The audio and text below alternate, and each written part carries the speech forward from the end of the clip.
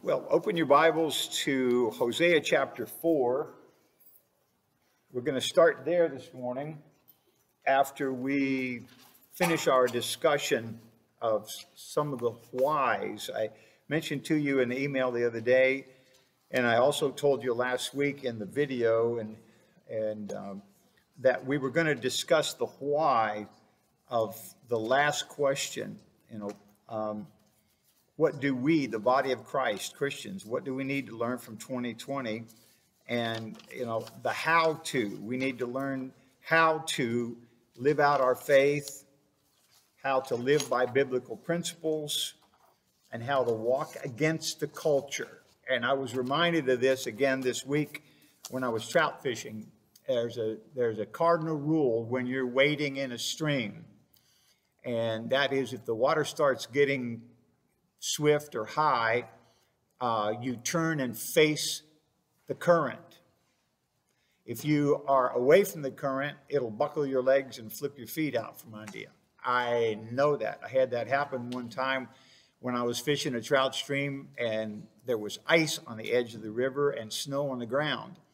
And I got on a rock, I was knee deep and I had waded out and I had felt on the bottom of my boots too.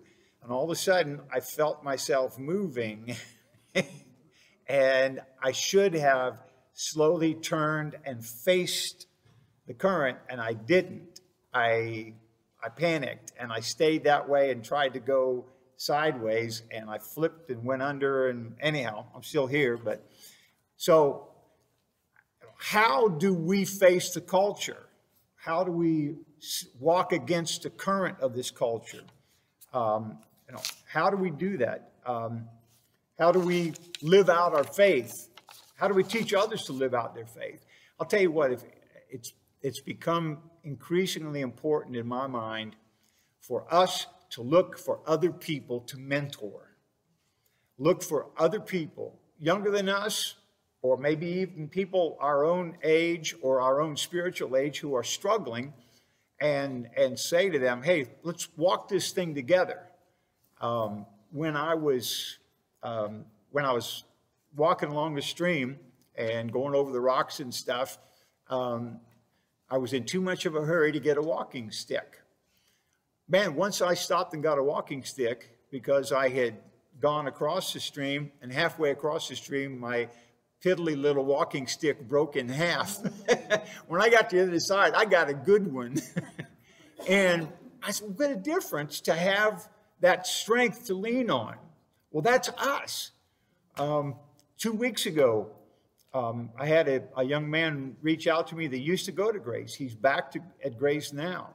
And um, awesome guy, but he just said, Hey, I need someone to walk with me. Um, so we're starting to do that. And it doesn't mean you sit down and teach the person a Bible study. Now, if they need something out of the Word, yes. If you need to take them through, uh, a passage on, on suffering or whatever, yes. But it's more about modeling, it's more about taking scriptures as God gives them to you and sharing with them. Um, I use my phone a lot in, in dealing with folks that I'm mentoring or try to encourage, uh, sending them songs that are full of the Word of God. And uh, I'll be going down the road and, and I'll hear a song. Now, you know, you don't take a notepad and write it while you're driving. So I'll say, Siri, remind me. And she'll say, What do you want me to remind you of? And I'll say the name of the song and who wrote it. And then at the end of the day, I look at my phone and something that somebody gave me for Rick, I see it there and I say, Oh, that's for Rick. And then I, I might say that song for Debbie, the, our friend in Virginia. Um, I've got to send her a song every night. I've been doing it for about 45 days. And um, I can't sit down and think of those, but as God brings them to my mind. So there are many, and, and I've had a number of different people say to me, man, that, that song, you know, Mark Longnecker has sent me some songs sometimes and, and or links to a, a, a video or an article or something. And it was just what I needed then. Yes, Joy. That question that you posed for us to study, Roger and I have been reading in First Peter and it, it tells something, it gives an answer in verse, in chapter one, verse 11, Dearly beloved, I beseech you as strangers and pilgrims, abstain from fleshly lusts, having your conversation honest among the Gentiles, that whereas they speak against you, they, they speak against you as evildoers, they may by your good works, when they shall be told, glorify God in the day of revelation. Submit yourself to every ordinance of man for the Lord's sake, whether it be king or as supreme or governors, as unto those that have been sent for the punishment of evildoers and for the praise of them that do well. For so is the will of God, that you may by well doing put to silence the ignorance of foolish men. And then it says, um, this is trustworthy for a man of good conscience. Uh, what glory is it if you be buffeted for your faults if you take it patiently? But when you do well and suffer for it, you take it patiently. And for this, Jesus gave us example that we should walk in his steps. Mm-hmm. And so being subject to authority, but and he says, as pilgrims and strangers, that they will be ashamed as they see your good behavior. Mm-hmm. Can I tell you a funny story real quick? You know, our neighbors across the street that we've been praying for? Well, I told her, why, I said, we feed the birds because every time I feed the birds, I said, those are God's birds, and he promises he's going to feed us. So she showed me, the, the, a couple days ago, she showed us, Joanna and me, the, the great platform she had made for the birds, and, and they had a thing underneath to catch And a fountain for them. and everything she had done. Well, yesterday she came up carrying these things and she said, God's birds are too messy. God's bird- They have made a mess. The mess was the hulls of the things. And she said, I, I can't feed God's birds anymore. You want to feed them? And I said, Megan, do you realize that we're his children and we're messy? And what if God said, well, you're too messy? Yeah. And she kind of listened to that. That was just kind of interesting thing. So we're feeding God's birds and the mess. And they're eating inside the house and home. But, but Well- what a neat opportunity to tell her that, you know, we're God's children and we're messy. What if God stopped loving us because we're messy? Yeah. And, and also you remind her that the birds are fertilizing her grass, okay? You know, what's interesting what you said though, actually dovetails over with Hosea chapter four, which we're gonna, which I ask you to turn to because, uh, well, I'm not gonna get ahead of myself, but, but Hosea tells the people in Hosea four exactly these things that we're talking about and what is not evident among God's people in those days. And he doesn't say, You don't know me, but he says that everybody else doesn't know me because you're not telling them, not showing them. So, who had something else? Oh, I was just gonna say the hulls from those seeds then can be used to compost and grow something, Yeah, There you go. as our mess. it's all recyclable.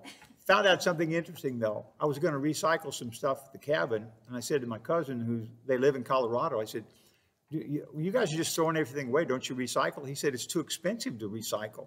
He said, you know what it costs us to recycle in, in Colorado? I said, the tree huggers, they, they, they not friendly to recycling. And, you know, okay, that's for another time, but there's a lot of things that we can do. I have a lot of opportunities at the recycle centers to talk to people and tell them, you know, we can't save the earth, but God says we're supposed to take care of it. And that's actually in Hosea 4 also. Boy, we're really getting ahead of ourselves today. All right. I think we pretty much know the how to's because of how long we have been believers, but let's look and see what, what Hosea tells the people that God said. Um, Hosea chapter 4. My daughter had a pastor uh, previously at the Presbyterian church where she goes in Lynchburg. And every time he stood and said, uh, before he preached, he would say, Hear the word of the Lord. And that's the way Hosea starts chapter 4. Hear with attention. It's a word that means I'm, hear it, listen to what it says, and listen to it with an intent to obey. Uh, it's the same word that's used in Deuteronomy 6, verse 4. Hear, O Israel, the Lord our God, the Lord is one. It's the same word that's used for the God who hears, Yahweh Shammah. Hagar said, You are the Lord who hears me. Hear with attention. Isn't it cool that God hears us with attention and with an intent to act for us? He never just says, okay, well, they're, they're talking, whatever. It's not that way. He says, Hear the word of the Lord, you children of Israel. For the Lord brings, notice how much this describes today. The Lord brings a charge, a physical, verbal argument, legal argument against you, the inhabitants of the land. There is no truth. Notice the three things that they're lacking truth, mercy, and the knowledge of God. He doesn't say that they don't know God, but there's no knowledge of God in the land. You know, it could go away in less than a generation. I, one time I, I thought, what's the use of, you know, of, of in front of somebody, something happens and they're all pagans or they're unbelievers. What's the use of saying that God did it? And according to the Lord's Prayer, you know, we have a king, we're the citizens of his kingdom. And that's the way people are going to know that there is a king and that we are his citizens. If we acknowledge him, if we talk about him, uh, if we talk about him all the time, it's just a part of our life. It's not a preaching, teaching thing, it's a living thing. So he says, the charge is this there's no truth, and that's the word for, for things that are completely, honorably, totally true, nothing false about them, nothing facetious about them. It's the Word of God, it's the nature of God to be true. Jesus said, I am the way, the truth, and the life. It wasn't just a trite saying. Everything that came out of his mouth, everything that came out of God's mouth that we have recorded here, everything the Holy Spirit ever leads us to do or say or think is all truth. And there is so little of that in the world today. I mean, that's part of what you're saying. Those people, your neighbors across the street, don't have a clue who made the birds. I mean, I, I, I saw I saw birds feasting on bugs on the water when we were fishing, and I thought, they, these guys are just coming down here. They know what to do, and and and uh, I'm glad that the fish were hungry enough to to not realize that what I was giving them was not from the Lord. But then when I caught them, they were a gift to me from the Lord. And uh, no truth, no mercy. The word mercy is chesed, the loving kindness. And it's a nature, it's part of God's nature, this loving kindness. It's one of his shared attributes. Um, I, yesterday morning when I was praying, I said, Lord, today, what shared attribute can I share with somebody else? What is there about your nature that somebody doesn't know and they can't see you and that attribute in you, but they can see it in me. They can hear it in me. They can experience it in me. Um, loving kindness, uh, tender mercies is another way that it's translated in the Old Testament. The third thing is knowledge of God. That's the simplest, broadest, most general Hebrew term. Uh, yada yada. You hear some Jewish people say yada yada. In other words, whatever, whatever. Uh, well, it's not whatever, whatever. It's everything that can be known about God, generally everything. The general knowledge, the general revelation of Him, but the specific revelation of Him too. And that's His Word of God. It includes everything that can be known about God. Now, honestly, our human minds can't take all of it in. It would blow all of our circuits. Um, if eh, someday we will be able to right now, everything that we don't see clearly now, when we have the mind of Christ, when we get to heaven, I hear people say, Oh, I get to heaven, I'm going to ask this. I want to go see. No, no, I don't think so. I think when we get to heaven, that ah moment, it's going to start when we cross over, when we die. And all of this stuff that's clogging our mind now, all of this stuff that bothers our heart now, it's all going to be gone. And we'll have the mind of Christ. And it's going to be a very, eh. I told somebody the other day, the judgment seat of Christ is not going to be Christmas morning. It's going to be one on one with Jesus. After that, we'll be able to rejoice and be happy, happy, happy. One on one with Jesus for us to see what's left of all of our life from the time we came to Christ until we die.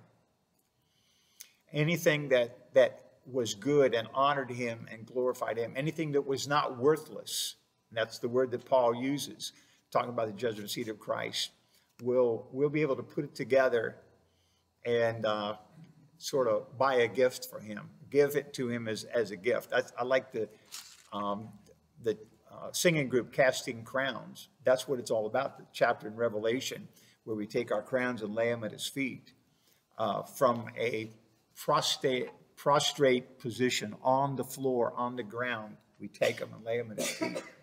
Um, it's going to be the difference between what I could have been, total, full, allowing the Holy Spirit to lead me from the time I was saved until I died, compared to what actually came of my life.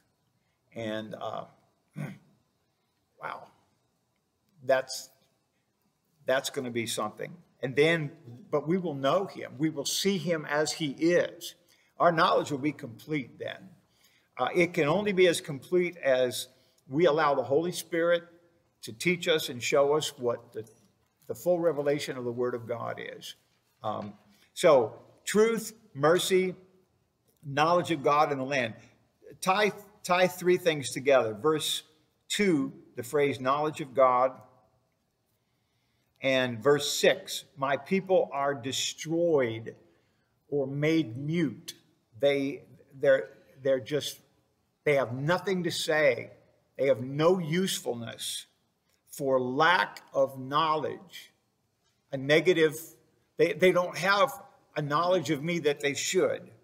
And then look at verse 6 at the end, because you have forgotten. And that word forgotten is the opposite of yada yada. He said, You went from what could have been knowledge to, to nothing, to, to not even knowing about me, or knowing but not really believing about me. You know, it's sad that some people's knowledge of God, some people's impression of God or Jesus is based upon us. That can be really good or it can be terrible. You know, I've, you've had people tell you before, well, if that's what a Christian is, or if that's what Jesus was like, I don't want anything to do with him. And I am ashamed to say that sometimes it's been me. You know, it could be simple things, it could be big things. Um, you know, it could be, that's why I'm always reminded I got to be careful if I got Christian symbols on my truck. Got to be careful that I drive like Jesus. Do I drive like Jesus? Well, um, I hope so. Yes? I think he would. I think he would drive a Nissan Frontier truck. I do. I really do. It's a great truck. But, but you know how I drive it can cause people to either say this or to make bad signs. And you know, courtesy, letting people, you know, when you're stuck in a traffic jam, don't you hate the person that goes, yeah, goes right by everybody and then expects to be let in up front? Uh, what do you do to that person? What would Jesus do to that person? You block him, okay.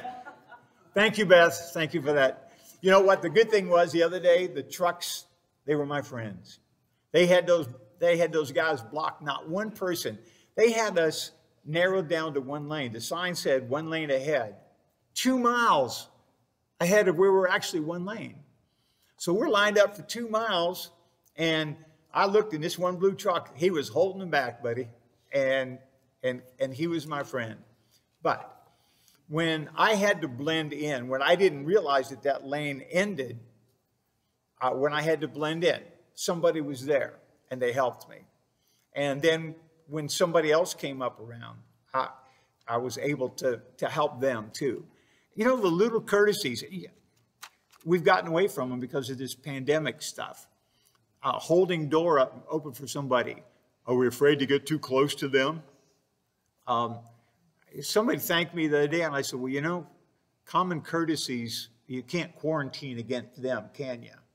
and you're not supposed to. And if there's anybody that should have a knowledge of God, um, it should be us. And if there's anybody should around us could have a knowledge of God, it should be because of us. Um, notice he says here, I, and I think he, he's saying they broke, they were breaking all ten of the commandments at the same time by swearing. He says, here's, here's why there's no knowledge of God in the land swearing, lying, killing, stealing, and committing adultery. He names five of the commandments, but then he goes on and says they break all restraint, all of the law. Well, the original 10, you know, how would you feel if you got those 10? They're not easy. And then God says, well, by the way, I got 603 more. Why did he have 603 more? Well, many times they were expansions on the original 10, but the other 603, the original 10, they were all out of necessity. God didn't take them out of the land and say, you know, we're going to school now. I'm making you guys toe the line. He knew, if you've been reading the daily matzahs about the Ten Commandments, have, have I been posting those? Yes. Or is that next month? Okay. I forget sometimes. I write them a month ahead and then I forget when I did them. Well, there was a necessity for every one of those. It was for them because he knew what kind of culture they had come out of. Guess what? They're for us now because he knows what kind of culture we're in. And he said, at least half of them. And what, what do you notice about all five of those? What's, what's, do, what do they all have in common? Who are they toward? They're toward people. They're toward people. Those are the people commandments. And because they had no knowledge of God, they didn't know how to treat people either. I can tell. I, I learned this early when I was in uh, high school. I went to work for uh, a little mom and pop ice cream stand. They had a. Uh, I became a short order cook in the back. And um, the boss, the boss would come in and every, every law of cleanliness that we had to keep, he kept. And, and he would serve those people just like he expected us to serve them. Rudy would come in, it's called Rudy's Drive-In. Rudy would come in and he would wash his hands and he'd put on an apron and he'd go out front to see if anybody needed help. If there was a long line, he'd open another window and man, he'd serve it. He'd be so nice to those people because he knew those people were his valued customers. But he was nice to us and he taught us how to treat those people and it trickled down. You can go to any store, any business, and you can tell how management treats the workers by how the workers treat the people. Now, there are some exceptions. There are some people that'll be nice to you, and it won't matter that their boss is a grouch. But most of the time, you can tell. And that principle is here. How do people have knowledge of God? By how we treat them, by what they hear us say, by how we care about them. We talked earlier about some of the things we can learn from, uh, from 2020. Uh, compassion. People need to see compassion in us. They, you know, everybody holed up in their house. You know, everybody's taking care of themselves. I think that's one reason that, especially partway through the, the pandemic, homeless people had nobody wanted to stop and give them money even nobody wanted to stop and talk to them some of the homeless shelters were closed and man they just said wow we're out here by ourselves um, it does something to you if you are sitting at an intersection and you see people come out of the woods and you realize that that's where they're sleeping that's where they're going when it gets too hot joy Pardon my ignorance. no You keep saying six hundred and three other commandments. I don't know what you're talking about. okay i'm sorry Six um, hundred and thirteen. yeah Yeah, the Jews have 613, both written and oral laws, and that's their number, and they've, they've stuck to it. And, But I um, like what Jesus said. yeah, Love God and love people. yeah, yeah, it, yeah, it is simple. And there's a Christian song that says that too. Yeah, it's the, it's the 10 plus 603. Because that's overwhelming. Yeah, it is When you say overwhelming. that. By the But- way, Fred, yes. just a little sideline on that. Yes, How they came up with that six hundred and thirteen, they divided up two hundred and forty-eight positive commands supposedly two hundred and forty-eight bones in your body. Three hundred and sixty-five negative commands for every day of the year, so you're serving God with every bone in your body every day of the year.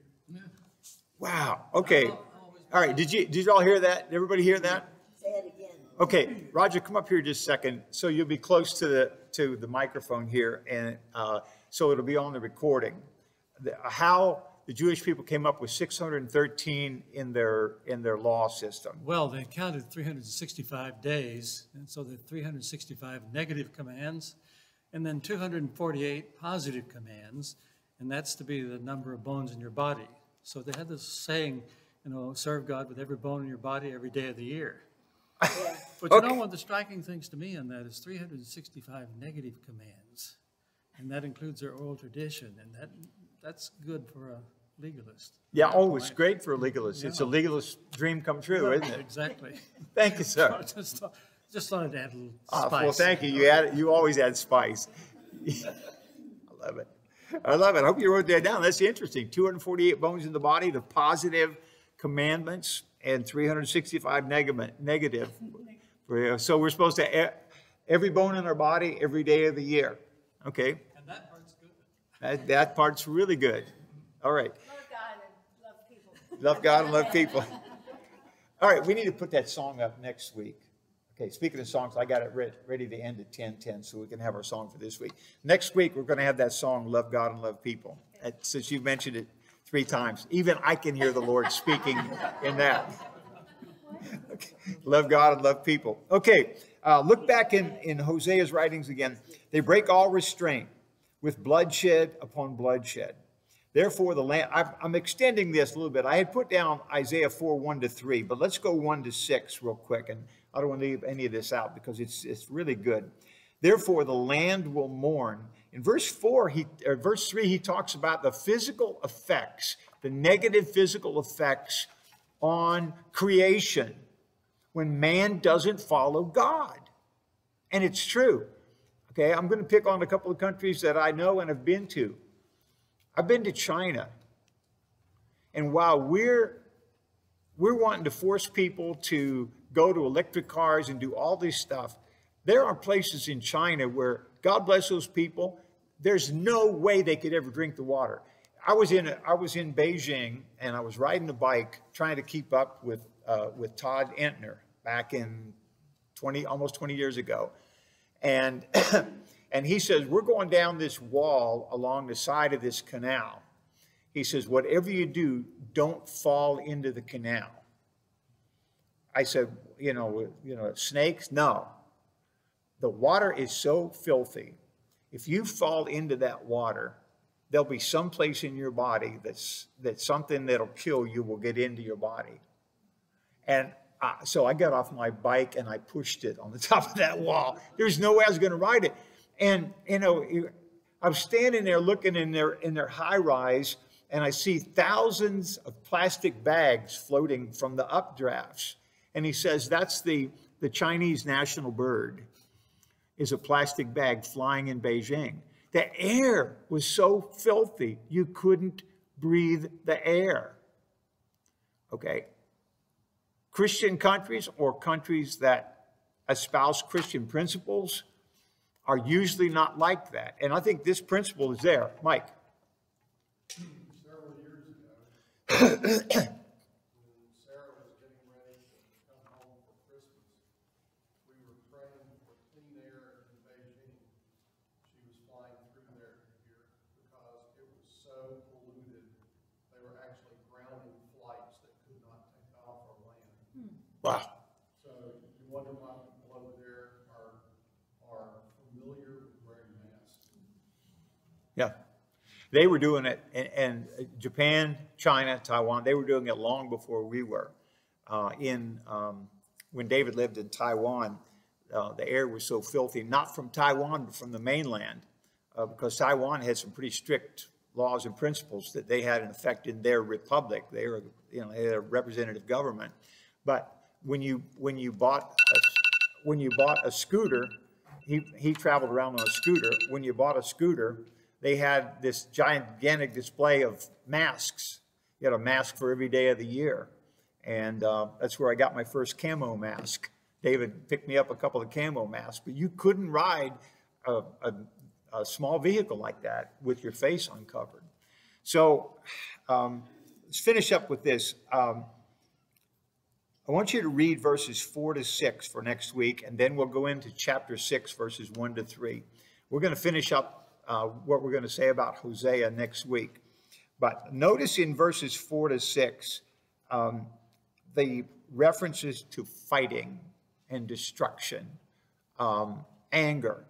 I mean, you see them every day. You see videos of people getting in fights on airplanes.